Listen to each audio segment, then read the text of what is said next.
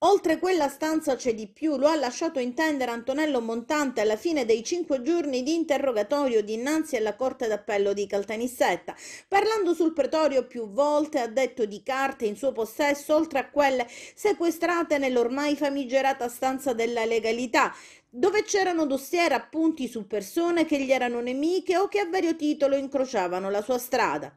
I racconti dell'ex paladino dell'antimafia siciliana condannato a 14 anni in primo grado hanno coinvolto personaggi del mondo della politica e non solo, che hanno già annunciato querele. Dal suo più grande accusatore Alfonso Cicero, testa del processo, parte civile, che un tempo gli fu amico, a Marco Venturi, altro testa del processo ed ex assessore regionale, fino ad arrivare ad Attilio Bolzoni, il giornalista parte civile, l'ex presidente della commissione antimafia Francesco Forgione e l'imprenditore Piero Di Vincenzo.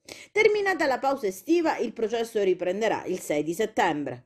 Soddisfatto quindi? Sono soddisfatto, ho ricostruito eh, tutti, tutti, questi fatti ehm, dove mi hanno visto protagonista me e i miei colleghi negli ultimi 15 anni sulla questione legal legalitaria nel Paese, non solo in questo territorio di Seno.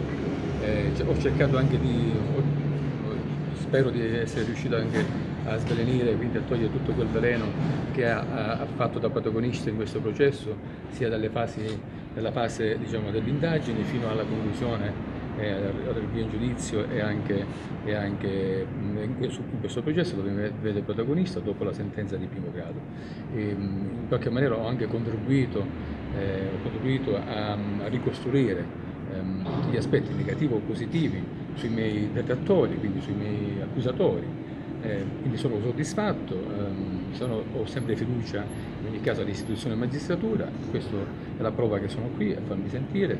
Eh, Avrebbe voluto dire dell'altro che ancora non ha detto? No, io penso di aver detto tutto quello che mi ha permesso di dire la Corte, perché naturalmente eh, la Corte è stata l'ho vista molto attenta, eh, quindi le ricostruzioni dei fatti, eh, sono soddisfatto di aver ricostruito eh, tutte quelle attività che mi ha visto protagonisti, che tanti sanno, eh, che in qualche maniera ehm, eh, spero che dovrebbero in qualche maniera queste mie dichiarazioni, queste mie, che non sono spontanee, sono proprio testimonianze sulle carte, non solo, sulla, sulla, non solo in, in, base, in, termini di discussione, ma proprio supportate da, da, da, da, carte che i miei avvocati produrranno nei prossimi, nei prossimi giorni. A chi annuncia querele lei come replica?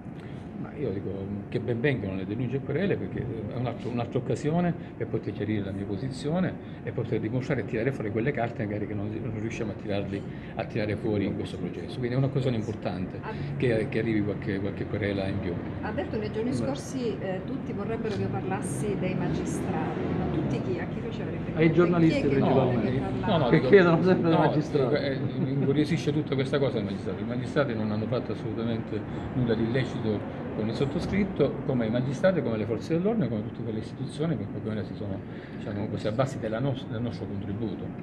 Se la commissione antimafia dirà di sì, lei andrà a parlare all'antimafia. Eh... Non mi sottraggo a nessuna posizione istituzionale.